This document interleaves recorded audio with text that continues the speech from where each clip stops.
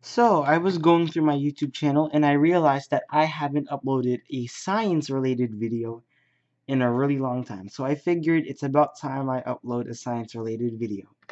So here it is right now. What thrives on YouTube more than controversy?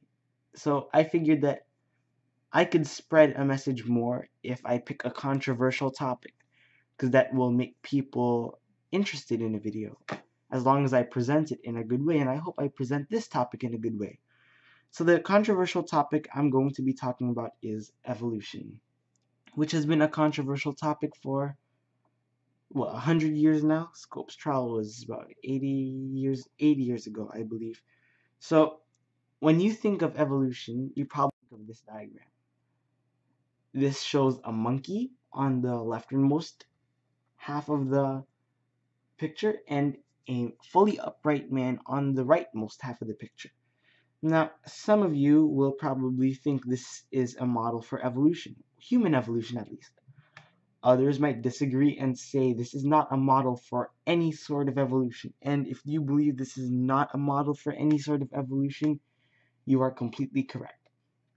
I won't be going in depth into evolution. I won't be going into its mechanics. I won't be going into much evidence for it because this is simply to clear up a question that I saw online.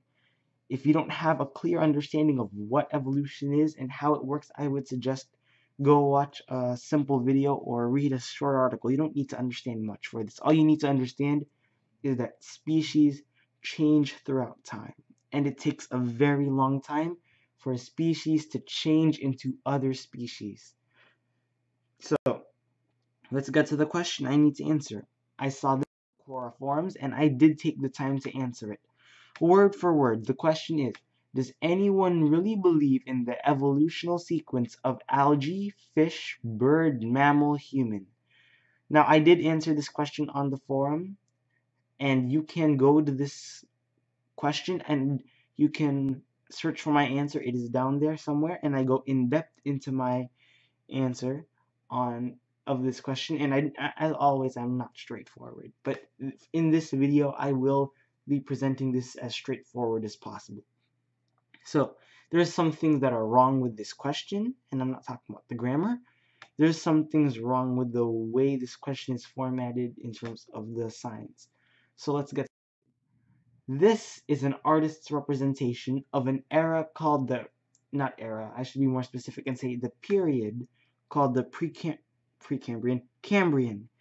This represents a time period called the Cambrian explosion, which occurred around 600 million years ago. The Cambrian explosion was not a physical explosion, it was a metaphorical explosion, an explosion of life. Life increased in diversity. You see this right here. You see strange species that you've never seen before. You probably don't even know what many of these are, with the exception of the sponges and the jellyfish. But just to point, the arrow that is pointing left is of a creature called the Anomalocaris.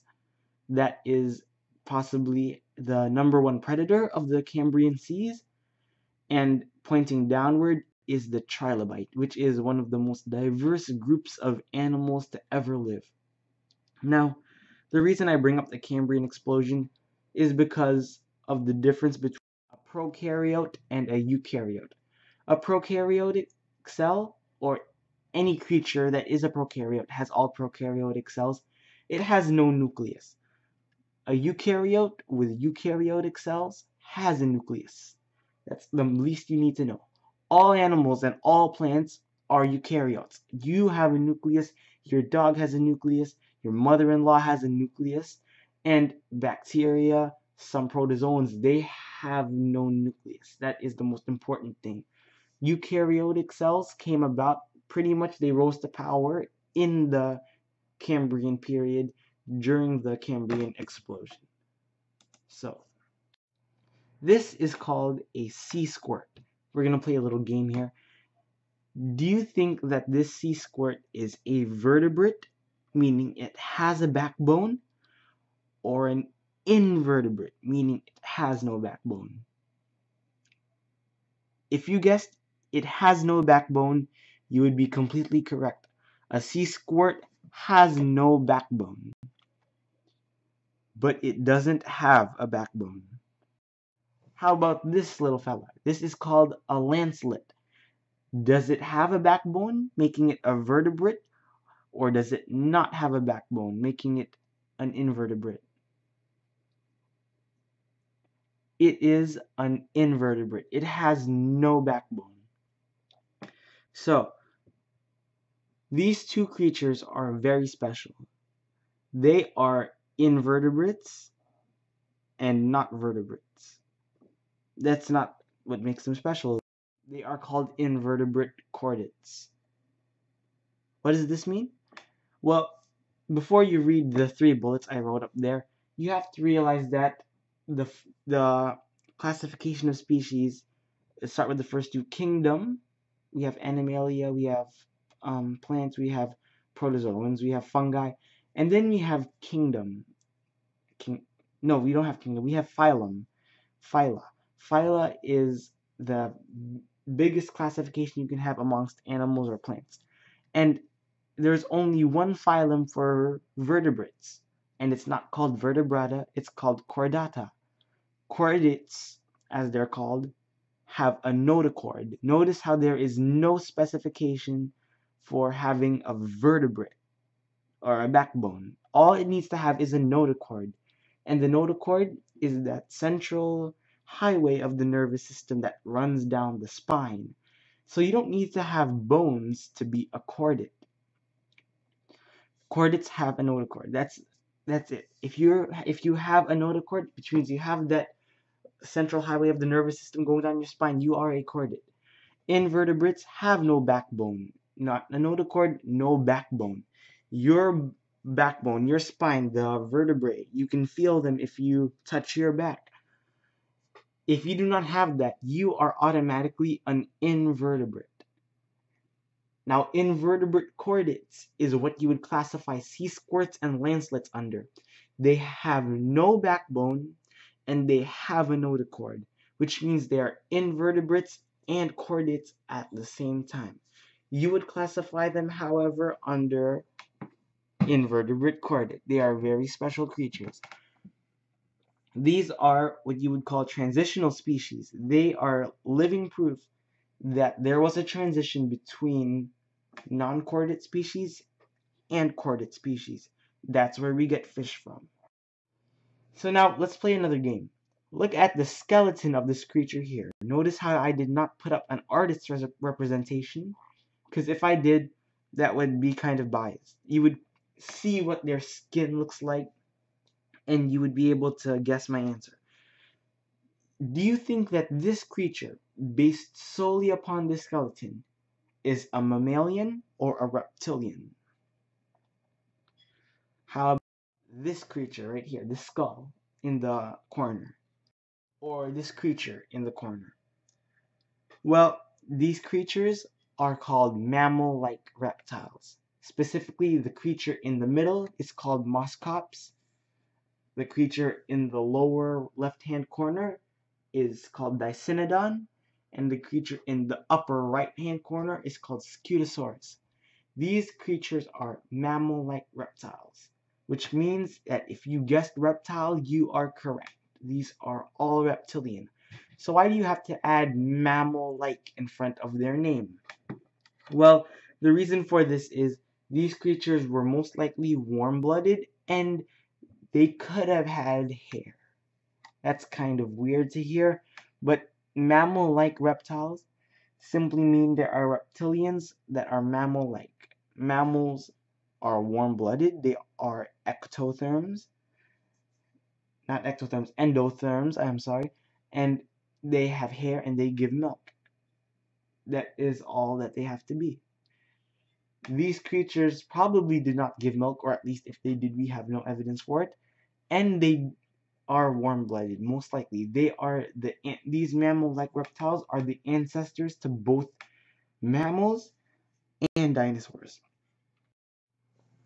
So that's just that just goes to show you that we do have transitional fossils from mammal and dinosaur these two creatures diverged from a similar group of species. So now, what about this guy here? Is it a mammal or a reptile? This creature is called Thrinaxodon, and it is a mammal. Thrinaxodon was an example of a transitional fossil between mammal and reptile. These creatures were most likely warm-blooded and they were faster than the average. They were faster than most reptiles could be because they were endothermic. They conserve body heat. They have a set body temperature which allows them to use their energy. Thrinaxodon is the beginning of mammalia. So I basically answered this question, does that sequence make sense? First off, that sequence is completely incorrect. You do not start with algae, you do not start with anything in fact, because the best way to understand evolution is not by sequence, but if you want to understand it in a chronological sense, you have to start from a single species, the very first species, and then branch your way out to other species.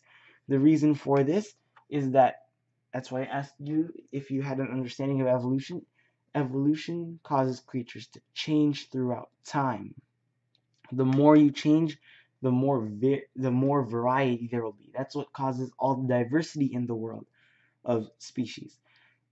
You can't say there's a sequence because there is no sequence. Every creature is equally on the last part of that sequence because they've all changed throughout time. This sequence is essential in understanding how evolution works. So, in conclusion, there's no sequence. You have to understand it as a web, a web in which creatures can branch out, and even better if it's three dimensional because you can see how creatures evolve, and not just creatures, all living things. So, that was a very, very, very non professional, very simplistic rundown of evolution. I, I didn't go in depth at all. I probably said a few wrong things in there. Um, I, I don't I I didn't I'm not really professional with this. But I believe I did answer this question correctly. You can't understand evolution as a sequence. You have to understand it as a web. That is the whole point. So if you want a more in-depth understanding of evolution, you should be a real scientist and go do research on your own because that is the best way to learn. To find information on your own and then check it with someone who you find reliable. So the question is where do we go from here? Well, we can begin by understanding the origins of life because the origins of life is where evolution began. Life the very first cells are where we start evolution. Then from those very first cells, we can begin to branch out into all the different species that we know of today. We can begin to create a true web of life. But we don't know where the origin of life is. We don't know what caused life to come about in the first place. What is my theory? Well, that's a question for another day. So if you enjoyed this video, don't forget to like, comment, and subscribe. And if you have any suggestions for future science videos, just leave a comment and I will do it. And as always, thanks for watching.